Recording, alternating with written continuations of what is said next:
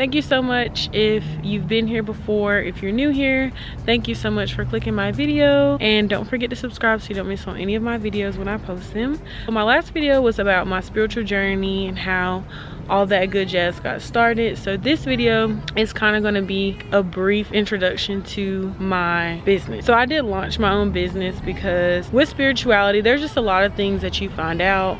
And basically I have been walking into the light of doing a lot of stuff on my own, doing some things for myself, investing in myself, and really taking what I want to do seriously. And that's really just heal the world. And I used to tweet it all the time like, dang, I really wish that I could just heal the world. So my business was basically the idea to heal the whole world through Earth's elements.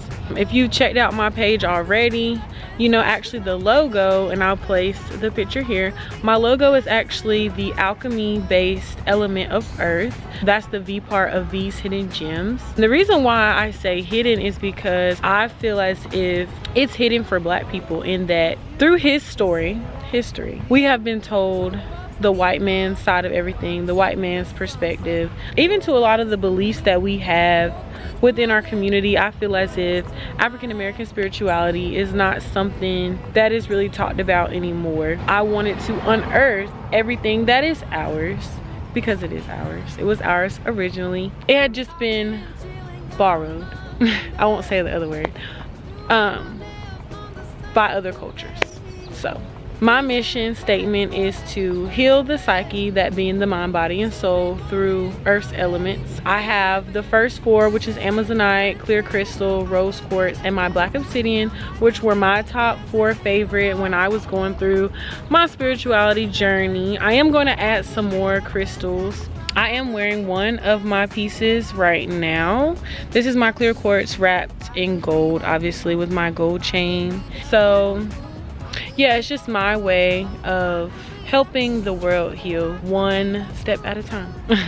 Over time, I will add more things. I actually have a really, really big announcement on launch day for my website. So please, if you have not already, please follow me on my social media platform at that girl Vonnie, as well as at V's Hidden Gems. That's V S E E. V's Hidden Gems as well as TikTok because TikTok is great for small businesses. I'm super excited for this spiritual journey, my new business and so many great things opening up and so many great things happening. So thank you guys so much and be sure to subscribe if you haven't already. Don't forget to tell a friend to tell a friend and I'll see you guys next time. Bye. Get your crystal necklace. It's real cute. It's real cute. Tuesday morning, everyone's asleep.